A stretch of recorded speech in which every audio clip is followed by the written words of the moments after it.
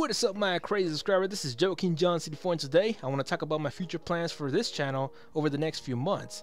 So first things first, what I gotta say first is that uh, I might be screwed. You see, when I saw the VGAs, if you guys didn't see the Video Game Awards, a lot of games were being announced, a lot of dates were being released, and uh, from what I saw, I was like, God damn it. I thought some of these games were going to come out in December, some other ones in January, and it would have been close for me to buy them. But instead, we got some few delays, and we saw Resident Evil is going to be released until February the 28th. I thought it was going to be released in December, but apparently they delayed it like for two more months. And then uh, Ghost Recon Wildlands, I thought it was going to come out in February, but that was going to come out until March.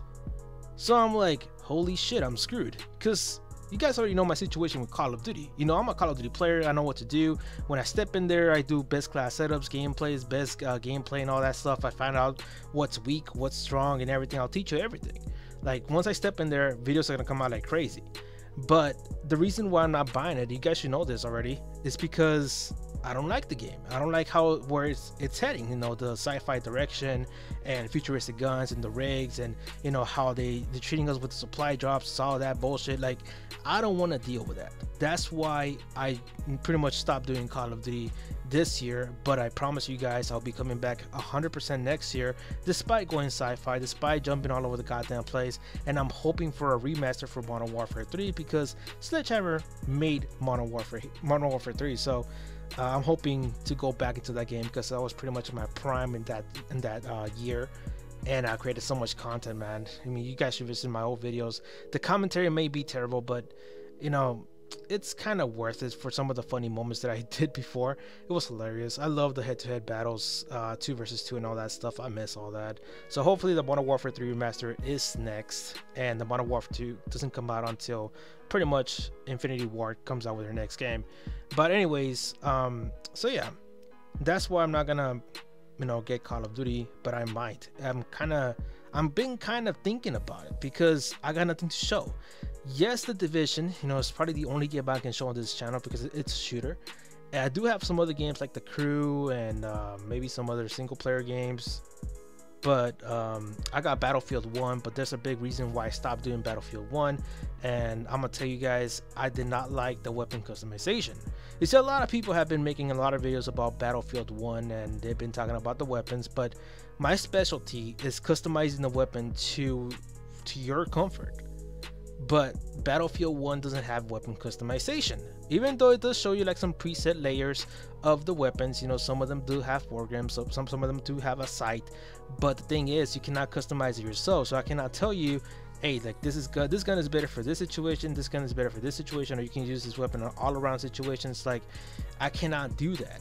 I can do that with Call of Duty, but I cannot do that with Battlefield 1.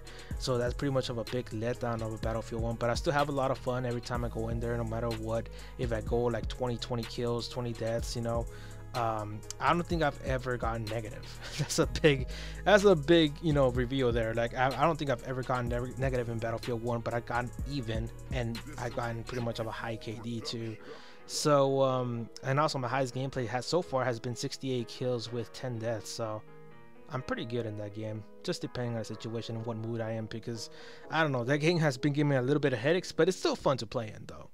So, um, so yeah, my plans over the next few months have been pretty much trashed. I got no games to show, but I know most of you guys love commentaries, and some of you guys have stopped watching the division. So I'm thinking I might be working more on commentaries and also giving my opinions about some certain situations in YouTube and also some rants. I know some of you guys love rants and uh, the way I edit the videos randomly, you know, pretty much put a meme in there or two. And uh, I might be, start doing that because I know some of you guys love that. So, and also that's how I got my 1,800 subs. If you guys did see the PlayStation Plus rant, I got like three subs out of that. So I'm glad some of you guys stopped by and um, yeah, that's all I wanted to talk about today. I got no plans over the next few months. I got no games to show, but uh, I will work on commentaries every other day or something because it's really in the danger zone at this point. Like I don't know what to do anymore. I really don't. Um, right now, I'm stuck into buying Infinite Warfare and you know the Legacy Edition with uh, Call of Duty 4, or just sit down and do commentaries until the next game release, which is Resident Evil on, on February 28th. unless some of you guys have some requests, you know, leave it in the comment section, and I would like to know uh, what you guys are have been thinking about. You know, the way you can change this channel. It's up to you guys, because I got no ideas anymore. So that's all I wanted to talk about today. Pretty much just giving all my thoughts. This is real. This is not fake. Whatever, whatever's thinking that, because I know people think like, oh, Joe's just doing it for drama. Like, I don't think so, man. I got nothing else to show. So um, that is it leave a like on the video because that's gonna help me a lot because of the YouTube algorithm has been so fucked up and I appreciate y'all's help so that is it guys thank you for watching and subscribe for more